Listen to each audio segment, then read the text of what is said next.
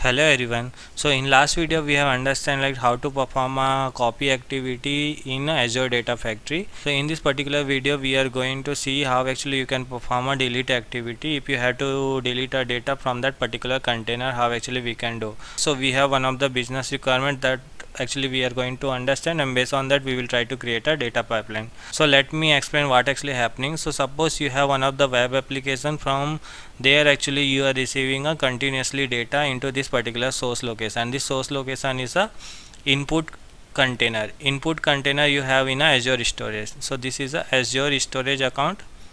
In azure storage account you have a input container and in this particular input container you are receiving a data from this web application now what actually happening on a daily basis we are receiving a data in this particular container. So we are also running one of the pipeline which is actually copying this data on a daily basis to the other container. So let us suppose this is the output container. Here actually we are copying a data. Now whatever the data actually got copied into this output location we want to remove from this source location right?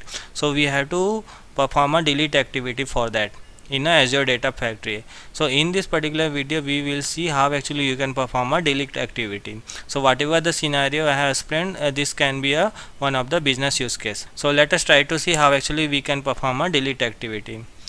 I have this storage account. Let me open this is my storage account. I will go to the container. So in this container uh, in this particular storage account I have created this input data container and here I have a data available in employee1.csv on a daily basis we are receiving okay? I have created Azure Data Factory Studio. Let me open Azure Data Factory Studio. I'll go to the author. I'll try to create a pipeline. Just click on the pipeline click on the new pipeline. Now what actually we want to do? We want to perform a delete activity. How actually we can do? So for copy activity we have to click on the move and transform so for delete activity we have to go to this general. You can see delete right? Just select drag and drop.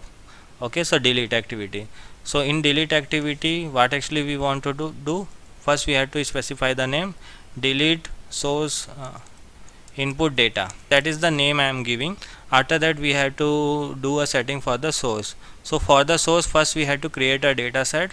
So this data set will indicate where actually our data is. So our data is coming into a blob storage I'll select that.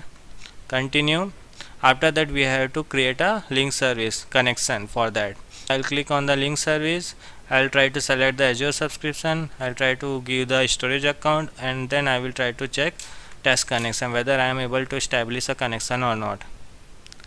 So let us see whether it is success or not you can see the testing connection. Okay connected successfully. Click on the create button. So now our link service is now ready. Now we have to give the path location. So in file path I'll select this particular folder and I'll select this uh, employee1.csv file. So as of now I have selected employee1. Uh, but if you want to delete all the csv then star.csv you can give the path location. Then click on the ok okay now our source is ready right? Now our source is ready. Now go to the logging. Logging account link service. Where actually you want to log the data. So if you want to use the same blob storage you can select that. Let me try to select the same blob storage whatever I have. All the logging details will get saved over there only. So I'll select that to see the connection connection established. Folder path we have to select where actually you want to store the logging details so that I have selected that. And let me do the validation. Let me click on the validate no issue. After that we have to click on the publish all. Click on the publish. And after that we will try to run up our pipeline and we'll try to see our employee1.csv file in input data it got deleted or not so as of now we have done the publishing. Whether once it will complete then we'll try to run our pipeline. Now publish is completed no error found. Now what we will do um, we will try to run. How to trigger a pipeline? Click on that trigger click on the trigger now.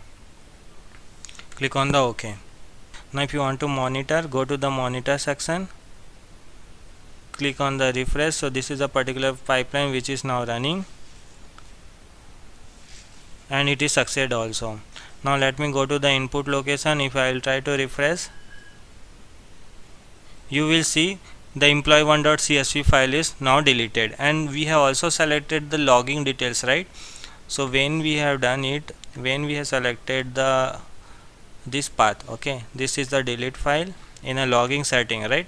So we have specified the log details path right so what actually we have done in a input data this particular path only we have so here we have all the logs details. So we have a log details here but we have the original file whatever the file was there that got deleted.